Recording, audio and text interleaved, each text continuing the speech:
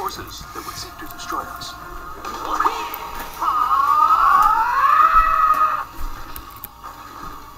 Huh? So, you think you can sneak up on me, huh? No, no, no! It is clear that you are no match for my technique, hey?